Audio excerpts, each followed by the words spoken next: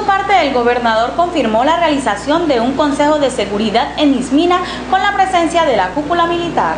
Muy delicada es la situación que en materia de orden público se vive en el municipio de Ismina a raíz de muertes diarias de personas con arma de fuego, lo que motivó que las autoridades local y departamental decretaran toque de queda en ese municipio y por primera vez en el Chocó. En el día de ayer, después de una reunión,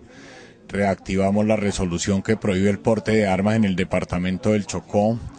o sea, ni solamente las, eh, las autoridades competentes pueden portar armas en el Chocó, no pueden ser portadas armas ni siquiera con salvoconducto.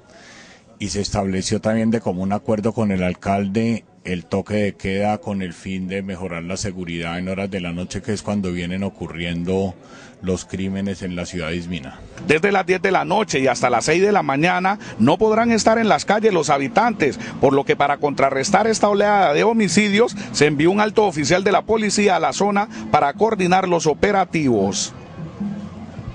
Sí, el 10 de noviembre estará en el Chocó el señor ministro de Defensa, el general Naranjo y toda la cúpula militar para analizar en qué va esta situación. De todas maneras, nosotros esperamos que las medidas tomadas de aumento del pie de fuerza en el San Juan, eh, la introducción de más policía, hoy fue enviado un comandante operativo eh, nuevo al área de Ismina, pues esperamos que estas medidas vayan produciendo sus efectos y que el 10 podamos redondear una estrategia integral que permita que la región del San Juan recupere la paz y la tranquilidad.